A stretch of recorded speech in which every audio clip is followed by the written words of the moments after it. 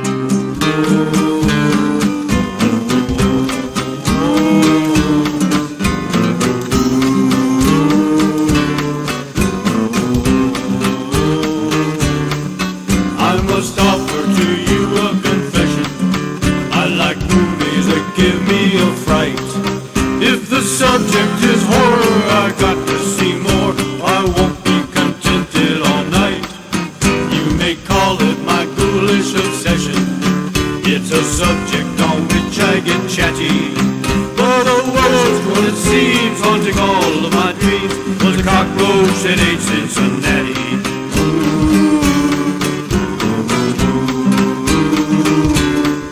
I've seen ghouls, hobgoblins, and witches, and some moth-eating werewolves with fangs. There were creatures that chattered, and others that clattered, and Japanese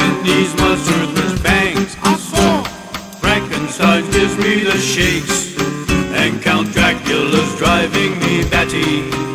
But they're not in par with the worst one by far, the cockroach that ate Cincinnati.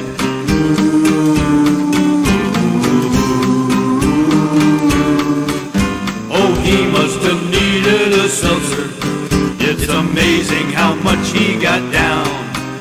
For lunch, he just chew up a suburb or two,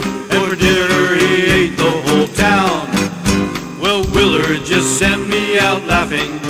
I thought Ben looked a little bit ratty, ratty, but they're not half as bad as the worst scare I've had. The cockroach that ate Cincinnati.